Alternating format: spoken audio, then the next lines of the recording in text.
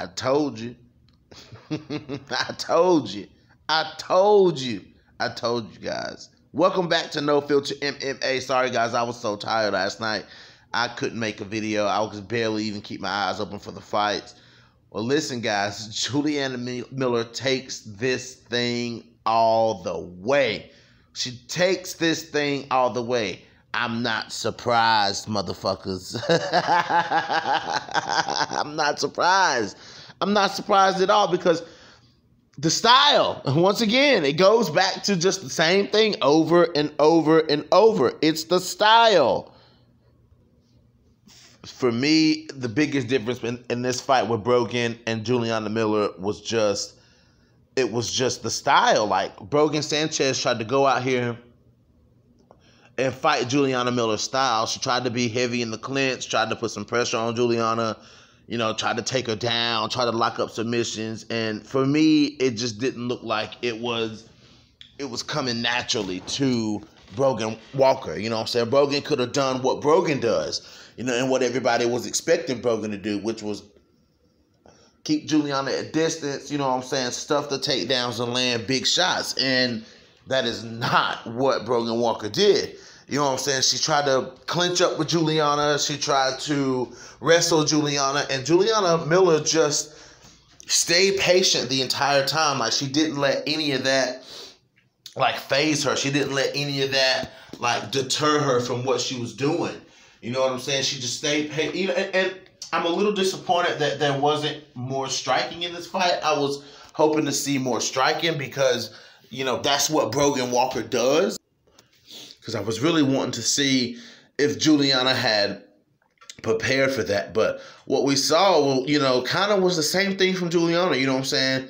That, that that hard jab is really what we saw. You know what I'm saying? And Juliana stuck Brogan with that jab a couple of times, but not a whole lot of times. Um, the most strikes we saw here really was from ground and pound when Juliana would get on top on ground and pound here. You know what I'm saying? She was landing, you know, at, at going into round two, Brogan was already swole up and, and eyes shut, eyes closed, and you know it was it, it was bad. I mean, it just wasn't looking it wasn't looking good for Brogan. You know what I'm saying? I mean, she Juliana just elbows to the face and just you know what I'm saying, just punishing Brogan. You know what I'm saying? But Brogan talked all that shit about Juliana. You know what I'm saying? Like, not trying to get into that side of it, but you know what I'm saying? Brogan talked some shit about Juliana. You know what I'm saying? A lot of girls in the house talk shit about Juliana. You know what I'm saying? They just didn't think she could compete. You know what I'm saying? Caitlin Neal, especially Caitlin Neal. You know what I'm saying? She talked shit. You know what I'm saying? And then look what happened to her. Like, you know what I'm saying? Listen, you girls, all those girls in that house, you know what I'm saying? They may have been more skilled and had more experience than, than Juliana Miller, but they didn't have the fight that Juliana Miller had. They just didn't have. They didn't have that level of go after that Juliana Miller has. They didn't have it. It's it's really just as simple as that, y'all. They did not have it. Brogan, at the beginning of this fight, she tried to go after Miller. Like she tried to she tried to be physical in there with Juliana Miller and it only lasted so long. Like, you know what I'm saying? It only lasted so long.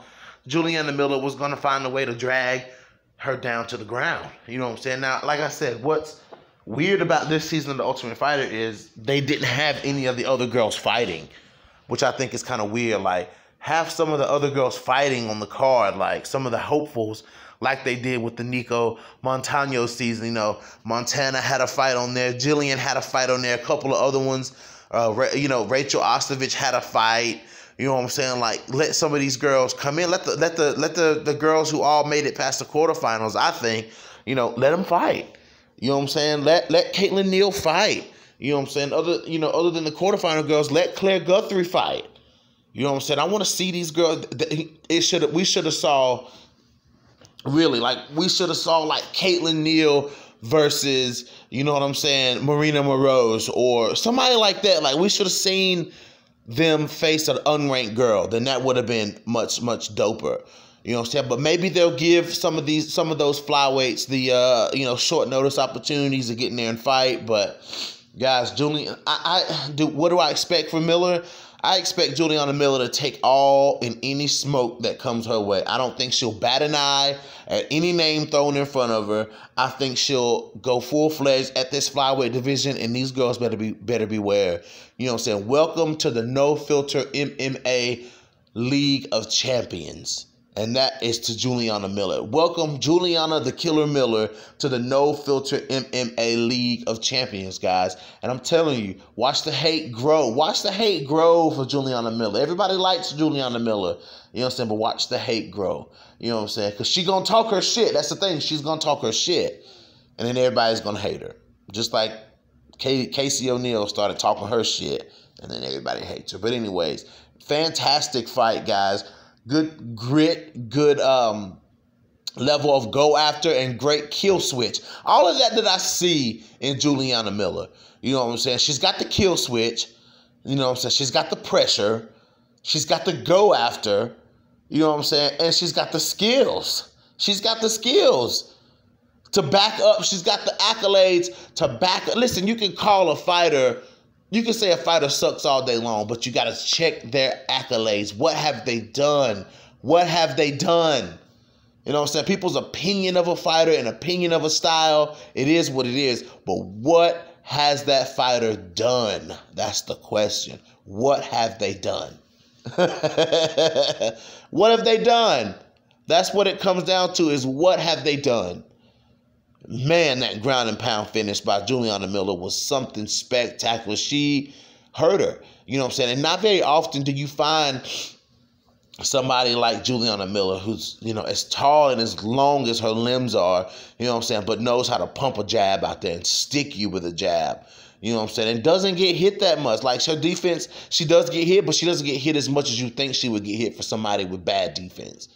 You know what I'm saying? I mean, simple as that. Like, you know, it, the biggest hole in her game to me is her defense. You know what I'm saying? And, for that to be her biggest hole, she doesn't get hit that much. Juliana Miller went, went out here and utterly and completely dominated Brogan Walker as if Brogan Walker was, you know, had the same amount of fights as she did. You know what I'm saying? So what, what really what really weighs more, guys? Like what really what really weighs more? You know, is it experience or is it go after? That's the huge question here. Like, what what what's more beneficial, experience or go after? You know, if these these fighters with these young records, if they just if they tell these older these older girls with these established records, I'm just gonna go after you. Like, you know what I'm saying? Like, see if you can stop me from pursuing you. I will break you. You know what I'm saying? If these girls continue to do that, that's that's that's that's how they win. That's how you win. You know what I'm saying? That's how you beat a Chookagian or you beat a Jennifer Maia, you beat a Lauren Murphy. You know what I'm saying? You you just have, they just have to go, go, go, go, go. You know what I'm saying? So it is what it is, guys. Let me know how you feel about Juliana Miller getting the finish over Brogan Walker. This is oh, excuse me, and winning the season 30 of The Ultimate Fighter. This is your boy BJ back from No Filter MMA. Drop those comments in the comment section. Hit that like, hit that dislike, and if you guys haven't already, hit that subscribe button. And your boy is out. Shout out to Juju.